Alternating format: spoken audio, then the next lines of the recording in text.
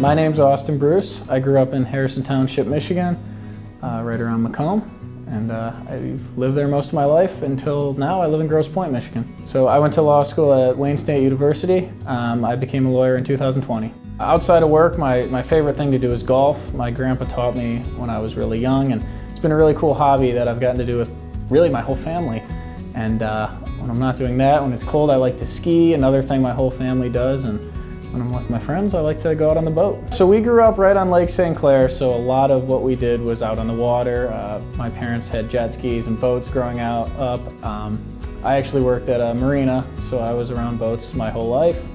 Um, I played some sports, you know, soccer, football, basketball when I was little, but I was never very good at them, so I kind of stuck to what I liked, and that was golf. I have one dog, a German Shepherd, her name's Juno. She's about one and a half now.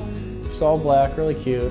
I love her. And then one cat whose name is Emily. For most of my life, I didn't know what I wanted to do. Um, and then at Michigan State, I took a constitutional law class and I thought it was really interesting. And you know, I kind of did some research and looked into it. And I, I think it's a really cool opportunity to help people at a really critical point in their life. And uh, it's kind of an honor to have that opportunity. So what really drew me to PI was that people are very hurt and very scared and they're looking for someone to help them through the difficult process and it is a complicated process and I really uh, I feel it's a privilege to be able to help them at times like that.